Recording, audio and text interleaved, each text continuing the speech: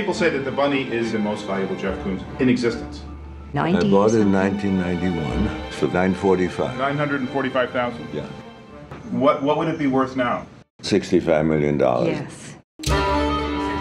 And we'll start at 350,000, 400,000, 450,000, 500,000, 650,000. And I would like some more. I want more. It was Always what? want more. I would like some more, a few more. 700,000, now 700,000, 750,000. It's, it's, a, it's a stock market calculation. Where's the bid? It's very important for good art to be expensive. art and money have no intrinsic hookup at all. There's a lot of uh, people that know the price of everything and the value of nothing.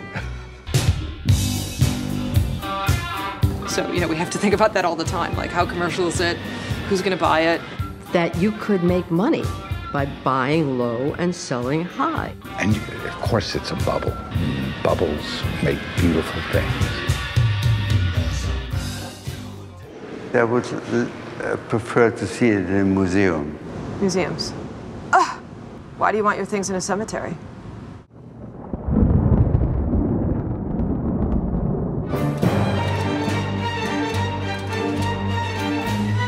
I have not done my best work. I want to achieve that. If you have something to say it will be seen, you just might not be alive.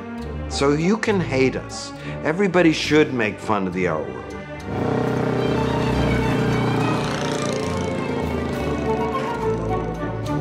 I think we are careening towards some edge or some end.